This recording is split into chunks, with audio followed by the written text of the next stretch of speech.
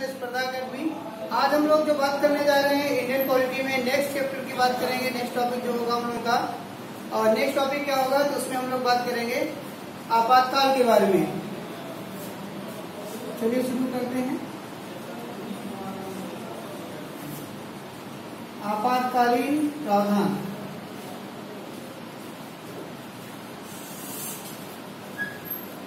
Emergency provision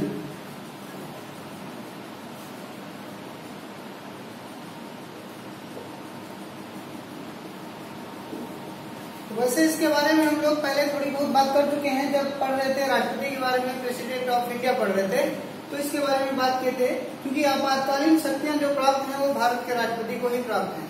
तो इसका जो प्रोविज़न किया गया है, आपातकालीन प्रावधान की जो व्यवस्था की गई है, उसका मेन कारण यही है कि कुछ विषम परिस्थितियों में एक अलग प्रकार का नियम देश में लागू किया जा सके। तो उसी के बारे में बात करने जा रहे हैं आज। तो सबसे पहले तो इसमें जो आपको जानना है, वो यही जानना है कि आपातकालीन प्रावधान कहाँ से लिए गए हैं। ये इमरजेंसी का जो प्रोविज़न है, वो कहाँ से लिया गया है? तो आपातकाल लिया गया है जर्मनी से। जर्मनी देश से आपातकालीन प्रावधान लिए गए हैं। और भारत में अगर कहा जाए कि आपातकालीन शक्तियाँ किसको प्राप्त है तो भारत में जो आपातकालीन शक्तियाँ प्राप्त हैं, वो भारत के राष्ट्रपति को आपातकालीन शक्तियाँ इमरजेंसी पावर भारत के राष्ट्रपति के पास में।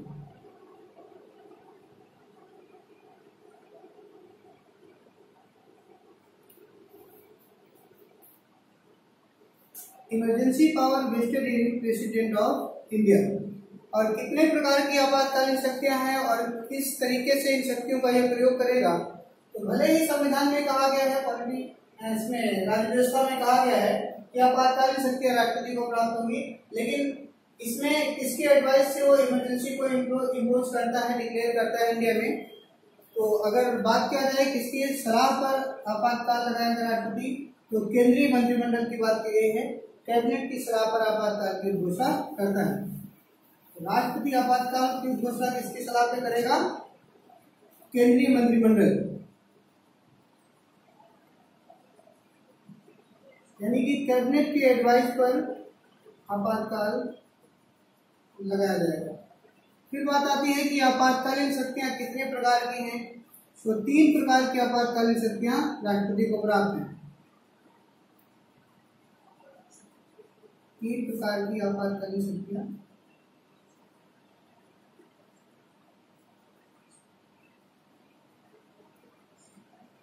राष्ट्रपति को प्राप्त हैं। और तीन प्रकार की आपातकालीन शक्तियाँ क्या है? इसके लिए अलग अलग आर्टिकल में भी प्रोविज़न किया गया है, प्रावधान किया गया है। तो चलिए बात कर लेते हैं कि सबसे पहले अगर बात करें तो राष्ट्रीय आपातकाल की। सबसे पहले राष्ट्रीय आपातकाल। इसको कहते हैं नेशनल इमरजेंसी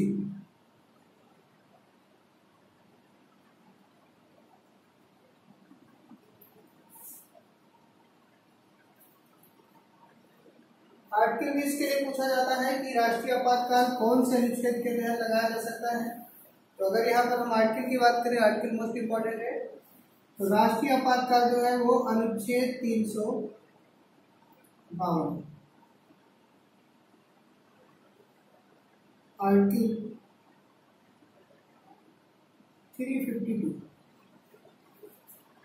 national emergency अनुच्छेद तीन सौ बावन में बताई गई है। इसके तहत और किस आधार पर राष्ट्रीय आपातकाल को लगाया जा सकता है तो अनुच्छेद तीन सौ बावन में कहा गया है कि तीन ऐसी स्थितियाँ उत्पन्न होंगी जिसके आधार पर नेशनल इमरजेंसी को राष्ट्रपति डिक्लेयर कर सकता है।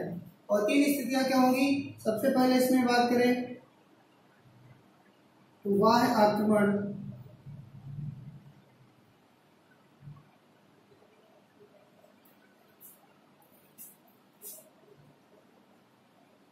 External invasion.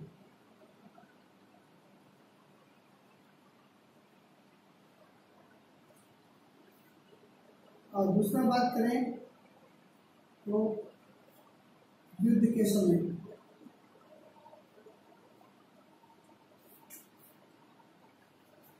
और तीसरा अगर बात करें तो वर्तमान में अगर कहा जाए तो सशस्त्र विद्रोह।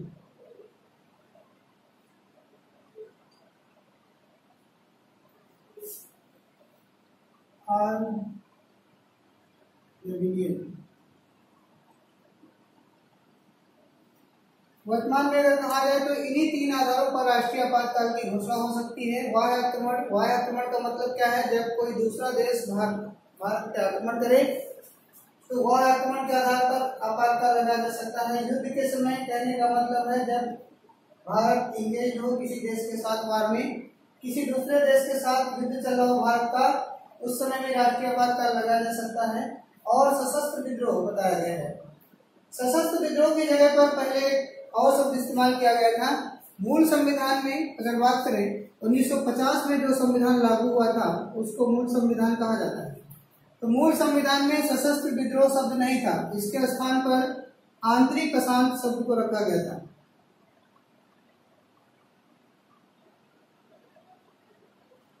Internal disturbance. आंतरिक अशांति को रखा गया था।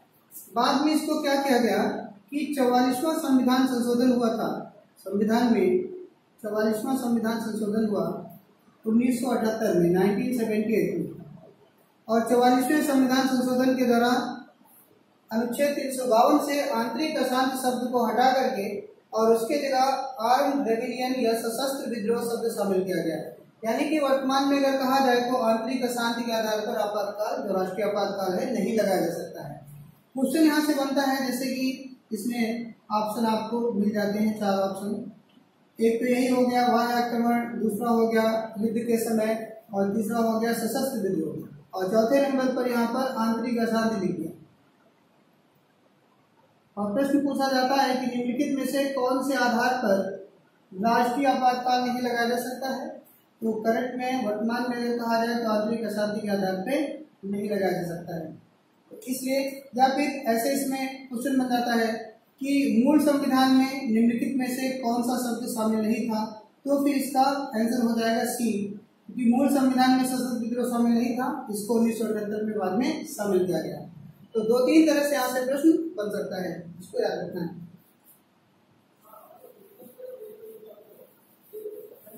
दूसरा क्वेश्चन जो यहाँ से बनता है कि अनुच्छेद तीन सौ बावन के तहत जो राष्ट्रीय आपातकाल लगाया जाता है, घोषणा की जाती है, वो कितने समय तक प्रभाव में रहता है, उसका अनुमोदन कितने समय में हो जाना चाहिए? तो राष्ट्रीय आपातकाल का अनुमोदन, यानी कि जो पार्लियामेंट से इसका अप्रूवल की बात की गई है राष्ट्रीय आपातकाल का अनुमोदन या अक्टूबर जिस तारीख में राष्ट्रीय आपातकाल की घोषणा की जाएगी, उस तारीख से एक माह के अंदर, एक माह के अंदर इसका अनुमोदन संसद से हो जाना चाहिए, नहीं तो ये आगे प्रभाव में नहीं रहती है। अब अनुमोदन या अप्रूवल होगा तो कितने मेजोरिटी से होगा? तो पार्लियामेंट में टू थर्ड मेजोरिटी से, दो तिहाई बहुमत से, जिसको क्या कहा जाता है? विशेष बहुमत कहते हैं स्पेशल मेजोरिटी कहा जाता है। यानी कि राष्ट्रीय आपातकाल अगर लागू हो गया है तो एक माह के अंदर उसका अनुमोदन हो जाना चाहिए। और कितने बहुमत से तो दो तिहाई बहुमत से या विशेष बहुमत से कह सकते हैं, उसका अनुमोदन होना चाहिए। फिर वो क्या होता है कि एक माह के अंदर अगर अनुमोदन हो गया तो अगले छह माह तक, अगले छह माह तक ये प्रभाव में रहेगी, रहेगा आपातकाल। और फिर अगर इसको आगे बढ़ाना है तो छह माह पूरे होने के पहले एक बार फिर इसका अनुमोदन हो जाए, अप्रूवल हो जाए तो फिर आगे छह माह के लिए आपातकाल रहता है इस तरीके से इसको आगे तब तक बढ़ाया जा सकता है, जब तक राष्ट्रीय आपातकाल की ज़रूरत हो। यहाँ पर एक बात याद रखना है कि कोई भी इसमें फिक्स टर्म नहीं बताया गया है कि दो साल तक की राष्ट्रीय आपातकाल लगाया जा सकता है या तीन साल तक। तो चलिए एक बार रिमाइंड करते हैं, अनुमोदन की बात करें, अगर नेशनल इमरजेंसी के अप्रूवल की बात करें तो जिस तारीख में इसको घोषणा की गई है डिक्लेयर किया गया है, उसके एक माह के अंदर इसका अनुमोदन हो जाना चाहिए। कहा से? संसद से। पार्लियामेंट से। कितने बहुमत से? तो संसद से। दो तिहाई बहुमत से। और दो तिहाई बहुमत क्या होता है? कुल सदस्यों का दो तिहाई बहुमत विशेष बहुमत कहलाता है। फिर ये छह माह तक प्रभाव में रहेगा। छह माह के अंदर फिर अनुमोदन हो जाएगा तो अगले छह माह के लिए बढ़ जाएगा। इसलिए इसको छह छह माह करके आगे बढ़ाया जा सकता है। ठीक? तो यहाँ पर अप्रूवल क्या देखिएगा ज़रूर पूछा जाता है। जब भी ये क्वेश्चन आता है तो इसमें ऑप्शन रहता है एक माह, दो माह, छह माह, छह सप्ताह, ऐसे ऑप्शन आते हैं। तो याद रखिएगा कि फ़र्स्ट टाइम जब इसका अप्रूवल होगा तो एक माह के अंदर होना चाहिए, फिर आगे छह माह के लिए बढ़ जाता है। अब बात कर लेते हैं कि अगर राष्ट्रीय आपातकाल जो लगाया जाता है तो इसका प्रभाव क्या पड़ेगा? राष्ट्रीय आपातकाल का प्रभाव। क्या इम्पैक्ट होगा जिसमें इमरजेंसी के डिक्लेयर होने का? तो जब भी राष्ट्रीय आपातकाल लगता है तो सबसे पहली बात कर लें, क्या प्रभाव पड़ेगा? तो इसमें मौलिक अधिकारों में अगर कहें तो अनुच्छेद 20 और अनुच्छेद 21 को छोड़कर बाकी जितने भी मौलिक अधिकार हैं, वो क्या हो जाते हैं? सस्पेंड हो जाते हैं, प्रभाव में नहीं रहते हैं। अनुच्छेद 19 तो स्वतः निलंबित हो जाता है। जैसे ही राष्ट्रीय आपातकाल की घोषणा होगी जिस तारीख से अनुच्छेद उन्नीस में जो छह बातें वर्तमान में बताई गई हैं तो अनुच्छेद उन्नीस पूरी तरीके से सस्पेंड हो जाएगा। अनुच्छेद 20 और 21 ये सस्पेंड नहीं होते हैं, बने रहते हैं। बाकी जो मौलिक अधिकार हैं, उनको राष्ट्रपति चाहे तो सस्पेंड कर सकता है, निलंबित कर सकता है। एक तो यही प्रभाव दिखेगा। दूसरा प्रभाव क्या दिखेगा? कि संसद को राज्य सूची के विषयों पर कानून बनाने का अधिकार मिल जाता है। संसद को राज्य सूची के विषयों पर कानून बनाने का अधिकार। वैसे तो हम लोग बात कर चुके हैं। या शायद अभी इस टॉपिक को अगर नहीं पढ़ा होगा तो किसी दिन, है ना उसका भी वीडियो हो जाएगा। तो इसमें हम लोग संविधान में पढ़ते हैं कि बारह अनुसूचियाँ हैं और बारह अनुसूचियों में से एक अनुसूची है सातवीं अनुसूची। सातवीं अनुसूची में तीन प्रकार की लिस्ट की बात की हुई है। और वो कौन कौन सी लिस्ट है? एक संघ सूची है, एक राज्य सूची और एक समवर्ती सूची है। तो संघ सूची में जो विषय थे उन पे कानून बनाने का अधिकार संघ सरकार को या केंद्र सरकार को। राज्य सूची में जो विषय दिए गए थे, उन पर कानून बनाने का अधिकार राज्य सरकार को है। और समवर्ती सूची पर जो विषय है, समवर्ती सूची में उन पे कानून बनाने का अधिकार राज्य सरकार और केंद्र सरकार दोनों को तो राज्य सूची के विषय पे जब राष्ट्रीय आपातकाल लगेगा तो राज्य सूची के विषय पे कानून राज्य सरकार नहीं, संसद भी बना सकती है। सामान्य परिस्थितियों में केवल राज्य सरकार नहीं।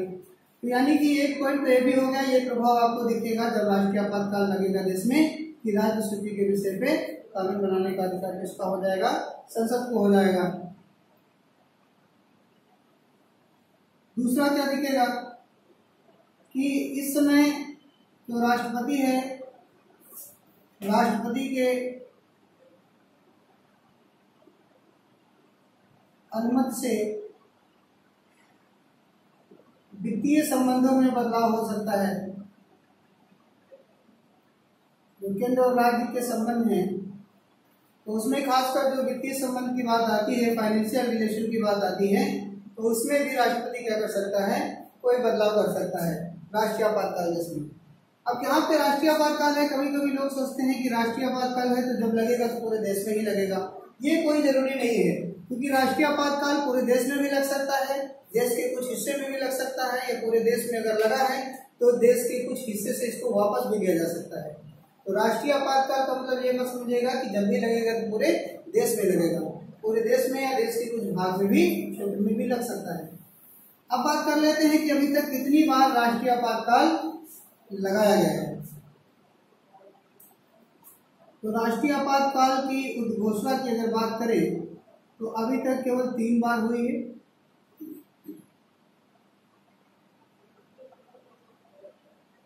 राष्ट्रीय आपातकाल की उद्घोषणा तीन बार हुई है। कब कब हुई है? पहली बार उन्नीस सौ बासठ में। भारत और चीन के युद्ध के समय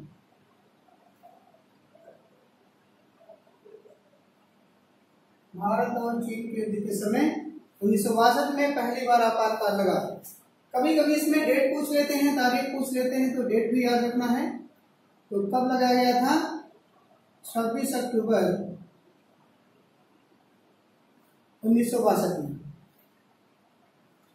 चीन, जो कि भारत का एक पड़ोसी देश है और भारत के साथ सीमा भी बनाता है, चीन ने भारत के नेफा और लद्दाख क्षेत्र पर आक्रमण कर दिया। उन्नीस में। नेपा और लद्दाख। नेपा और लद्दाख क्षेत्र पर चीन ने उन्नीस सौ बासठ में आक्रमण किया था। देखिए, यहाँ पे नेपा का मतलब क्या है? नॉर्थ ईस्ट फ्रंटियर एजेंसी तो नेपा किसको कहते थे? वर्तमान में जो अरुणाचल प्रदेश राज्य है, उसी का नाम था पहले नेपा तो उन्नीस सौ पचहत्तर या छिहत्तर में नेफा का नाम बदल करके क्या कर दिया गया? अरुणाचल प्रदेश कर दिया गया। तो नेफा और लद्दाख क्षेत्र पर चीन ने हमला कर दिया। यानी कि अभी जो हम लोग बात किए, तीन आधारों पर राष्ट्रीय आपातकाल लग सकता है। तो इनमें से एक बात किए थे कि वाह आक्रमण। एक्सटर्नल जो है इन्वेजन होता है। तो वाह आक्रमण के आधार पर लगा था। यह आपातकाल लगा था इस आधार पे वाह आक्रमण के आधार पर वाह आक्रमण का मतलब है कोई दूसरा देश भारतीय क्षेत्र पर हमला कर तो यहाँ पर क्या क्या रखना है कि पहली बार राष्ट्रीय वार्ता तब लगा छब्बीस अक्टूबर उन्नीस सौ बासठ में ठीक जब भारत और चीन गए तो चीन ने भारत के लद्दाख लद्दाख क्षेत्र जम्मू कश्मीर में पड़ता है, नेपाल जिसको कहते हैं, अरुणाचल प्रदेश को। इन क्षेत्रों पर आक्रमण किया था? और ये वाह आक्रमण के आधार पर आपातकाल लगाया गया था। दूसरा प्रश्न यहाँ से बन जाता है कि उन्नीस सौ बासठ में जब आपातकाल लगा तो उस समय देश का राष्ट्रपति कौन था? तो उन्नीस में आपातकाल के समय भारत के जो राष्ट्रपति थे,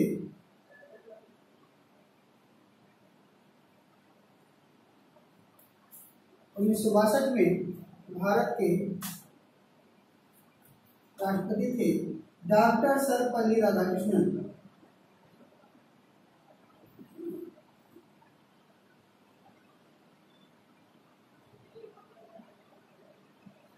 डॉक्टर सर्वपल्ली राधाकृष्णन।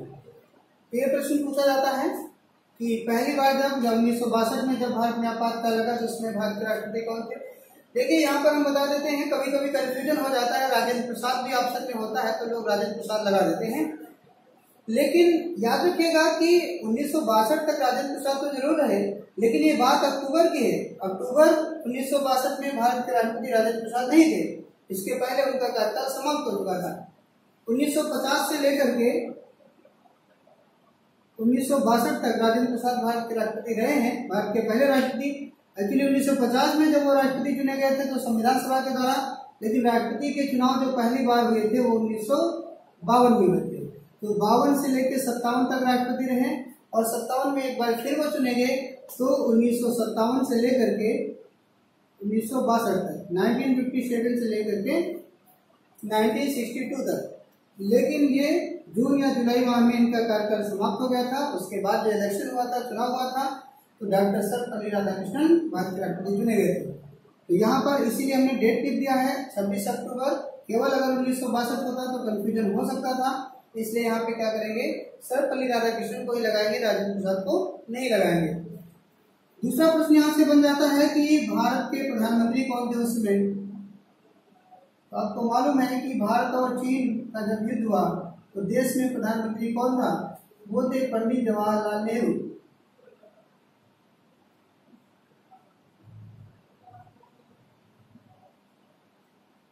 पंडित जवाहरलाल नेहरू इसमें देश के प्रधानमंत्री थे और इस युद्ध में भारत की पराजय हुई थी। चीन जो है इस युद्ध में जीत दिया था। तो ये दो महत्वपूर्ण प्रश्न हैं। कि भारत के राष्ट्रपति कौन? डॉक्टर सर्वपल्ली राधाकृष्णन। कब? उन्नीस सौ बासठ में, जब भारत और चीन का युद्ध हुआ था, पहली बार राष्ट्रीय आपातकाल लगाया गया था और भारत के प्रधानमंत्री उसमें थे पंडित जवाहरलाल नेहरू। दूसरी बात अगर बात करें कि भारत में राष्ट्रीय आपातकाल जो लगाया गया जब घोषणा हुई, दूसरी बार कब हुई? अभी हम लोग यहाँ बात किए हैं तीन बार।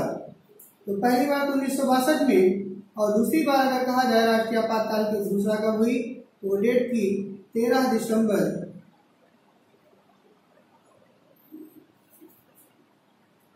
उन्नीस सौ इकहत्तर। तेरह दिसंबर उन्नीस सौ इकहत्तर में भारत और पाकिस्तान का युद्ध हुआ।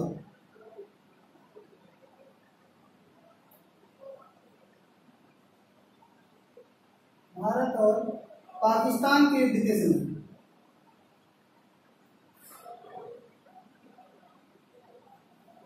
भारत और पाकिस्तान के युद्ध के समय।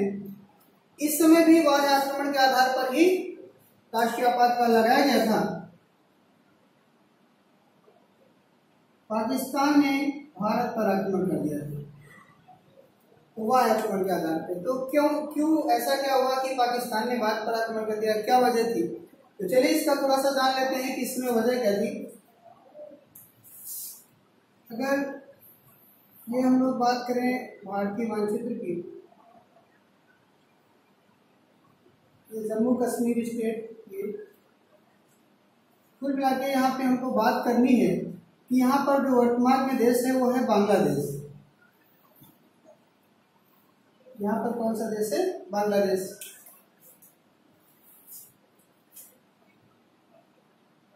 बांग्लादेश जो था वो उन्नीस सौ इकहत्तर के पहले इसको पूर्वी पाकिस्तान कहते थे। पाकिस्तान जब भारत का विभाजन हुआ उन्नीस में तो पाकिस्तान का क्षेत्र जो था वो भारत के इस तरफ़ पश्चिम में था और भारत के पूर्व में था। तो इसको पूर्वी पाकिस्तान कहा जाता था बांग्लादेश को। तो इसी मामले को लेकर के पाकिस्तान जो पूर्वी पाकिस्तान था, इसी मामले को लेकर के यहाँ के लोगों ने जो है पाकिस्तान की हुकूमत के खिलाफ विरोध कर दिया और जिसमें भारत ने इस क्षेत्र के लोगों की हेल्प की और इसी वजह से पाकिस्तान ने भारत पर आक्रमण कर दिया था। तो तेरह दिसंबर उन्नीस सौ इकहत्तर को वह आक्रमण के आधार पर भी दूसरी बार राष्ट्रीय आपातकाल लगाया गया यहाँ से भी प्रश्न पूछा जाता है कि जब दूसरी बार राष्ट्रीय आपातकाल उन्नीस सौ इकहत्तर में लगा, उस समय भारत के राष्ट्रपति कौन थे? इस समय भारत के राष्ट्रपति थे बीबी गिरी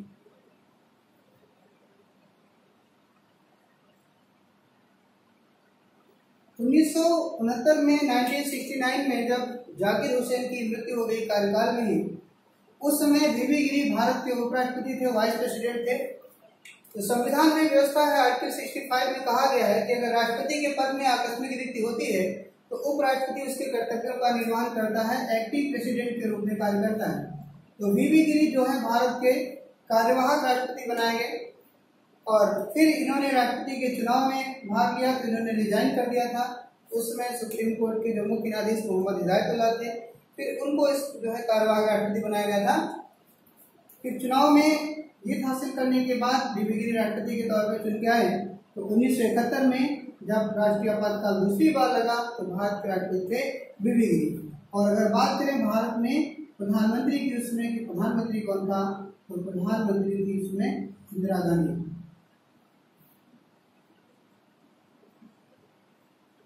ये क्वेश्चन यहाँ से बन जाते हैं। राष्ट्रीय आपातकाल के समय राष्ट्रपति और प्रधानमंत्री। तो ये दो प्रकार से हम लोगों ने देखा कि दो बार आपातकाल, एक और बात करना है, क्योंकि तीन बार अभी तक राष्ट्रीय आपातकाल लग चुका है। तो तीसरी बार राष्ट्रीय आपातकाल की घोषणा कब हुई कब ये डिक्लेयर की गई नेशनल इमरजेंसी उसकी भी बात कर लेते हैं।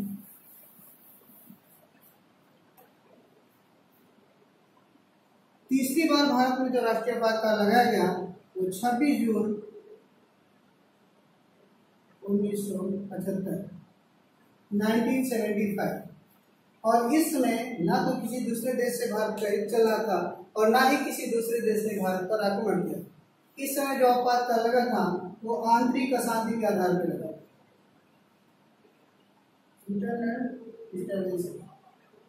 आंतरिक अशांति के आधार पर तीसरी बार राष्ट्रीय आपातकाल भारत में लगाया अभी हम लोग बात किए हैं कि वर्तमान समय में आर्थिक अशांति के आधार पर नहीं लग सकता है, क्योंकि फोर्टी फोर्थ अमेंडमेंट हुआ था 1978 में, जिसमें आंतरिक अशांति शब्द को हटा दिया गया, सशस्त्र विद्रोह को शामिल किया गया।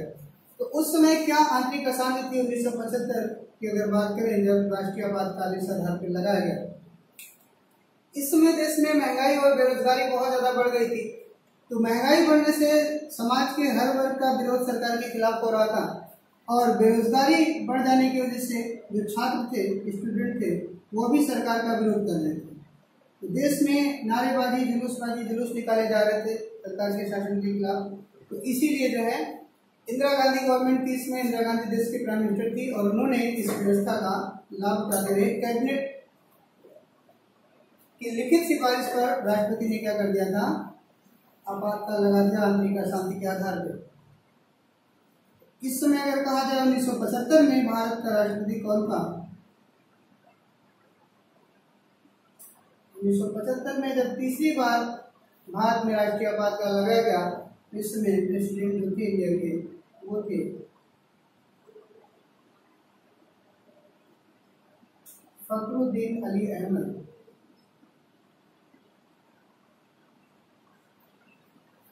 और प्रधानमंत्री की बात करेंगे तो इस समय भी इंदिरा गांधी थी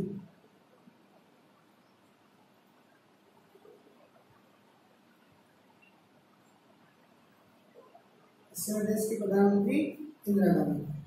तो ये तीन प्रकार से अभी तक नेशनल इमरजेंसी को लगाया गया है, इम्पोज किया गया है, डिक्लेयर किया गया है। अब बात कर लेते हैं कि जो राज्य में राष्ट्रपति शासन लगता है, राज्य में संवैधानिक तंत्र की विफलता के आधार पर लगता है? तीन प्रकार से आपातकाल लगाया जा सकता है। ये तो राष्ट्रीय आपातकाल था। दूसरा अगर कहें तो राज्य में राष्ट्रपति शासन।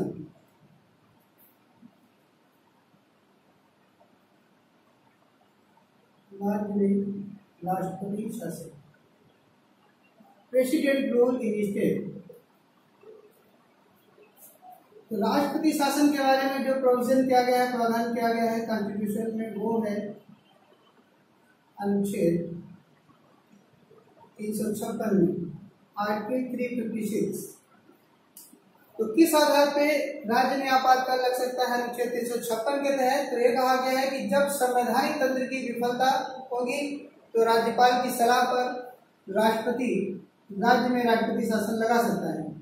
संवैधानिक तंत्र की विफलता का मतलब यह है कि अगर नियम कानून से राज्य सरकारें शासन चलाने में सक्षम नहीं है, शासन नहीं चला पा रही है तो अगर राज्यपाल इसकी लिखित सिफारिश केंद्र को भेज देता है तो अनुच्छेद तीन सौ छप्पन के तहत केंद्रीय कैबिनेट के एडवाइस पर सलाह पर प्रेसिडेंट स्टेट में प्रेसिडेंट जो डिक्लेयर कर सकता है इमरजेंसी को लगा सकता है।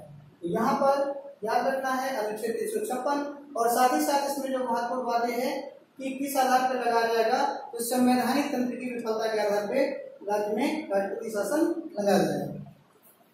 अनुमोदन के बारे में यहाँ से भी पूछा जाता है कि राष्ट्रपति शासन अगर लगाया जाता है तो उसका अनुमोदन कितने समय में हो जाना चाहिए? अप्रूवल कितने समय में हो जाना चाहिए? तो यहाँ पर भी पार्लियामेंट के द्वारा ही अप्रूव किया जाएगा, अनुमोदन होगा, लेकिन अनुमोदन का जो समय बताया गया है, वो दो माह। जिस तारीख में राज्य में राष्ट्रपति शासन लागू होगा, उसके दो माह के अंदर इसका अनुमोदन संसद से हो जाना चाहिए और ये भी विशेष बहुमत से ही होना चाहिए फिर दो माह के अंदर अनुमोदन हो जाएगा तो आगे जो है इसका टाइम पीरियड बढ़ जाएगा। कितने समय तक राज्य में लगाया जा सकता है? तो यहाँ पर कहा गया है कि अधिकतम किसी राज्य में राष्ट्रपति शासन अधिकतम तीन वर्ष तक लगाया जा सकता है। लेकिन इसका अपवाद रहा है एक्सेप्शन रहा है पंजाब। पंजाब में अगर कहा जाए तो पंजाब में पाँच वर्ष तक लग चुका है। लेकिन सामान्यता जो संविधान में बात की गई है कि अधिकतम तीन वर्ष तक की लगाया सकता है। तो क्या क्या महत्वपूर्ण अनुच्छेद तीन सौ छप्पन के तहत राज्य में राष्ट्रपति शासन लगेगा? अनुमोदन संसद से दो माह के अंदर हो जाना चाहिए। अधिकतम कितने समय तक जो स्टेट में डिक्लेयर हो सकती है इमरजेंसी? थ्री वर्ष तक थ्री ईयर तक होगी और पंजाब में पाँच साल तक लग चुका है। तो यहाँ पर स्टेट में क्वेश्चन आता है कि सबसे पहले सर्वप्रथम कौन से राज्य में राष्ट्रपति शासन लगाया गया? तो सबसे पहले जो है वो पंजाब में। पंजाब को टेप्सू भी कहते हैं कभी कभी ऑप्शन में पेप्सू आता है, पंजाब नहीं रहता है तो पेप्सू आएगा तभी सही होगा और पंजाब। कब लगा था पंजाब में? तो उन्नीस सौ इक्यावन में। तो सबसे लंबे समय तक भी अगर कहा जाए राज्य में राष्ट्रपति शासन तो लगाया गया कहाँ पे? पंजाब में, और सबसे पहले भी पंजाब में लगाया गया है। सबसे कम समय तक अगर बात करें तो सबसे कम समय तक कर्नाटक में लगाया गया है, केवल सात दिन तक। साथ ही साथ उत्तर प्रदेश में अगर कहा जाए तो यूपी में अभी तक टोटल दस बार लग चुका है। तो सर्वाधिक बार किस राज्य में राष्ट्रपति शासन लगा है? तो यूपी में सबसे अधिक समय तक किसमें लगा है? तो पंजाब सबसे पहले, पंजाब सबसे कम समय तक कर्नाटक में लग चुका है। और जब राज्य में राष्ट्रपति शासन लगता है तो राज्यों की विधानसभाएँ भंग हो जाती है, सरकार बर्खास्त हो जाती है। राष्ट्रीय आपातकाल के समय लोकसभा भंग नहीं होती है इतना याद रखना है। लेकिन राज्य में जब राष्ट्रपति शासन लगता है तो विधानसभा भंग हो जाती है। और राज्य का शासन जो है, वो राष्ट्रपति चलाता है सॉरी राष्ट्रपति चलाता है राज्यपाल की सहायता से। तीसरी जो आपातकाल की बात की जाए प्रोविज़न है, वो है फाइनेंशियल इमरजेंसी वित्तीय आपातकाल।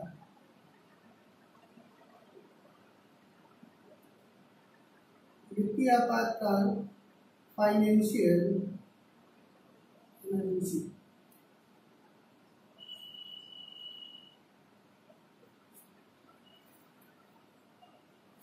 इसके लिए जो कॉन्स्टिट्यूशन में आर्टिकल बताया गया है, वो है अनुच्छेद तीन सौ।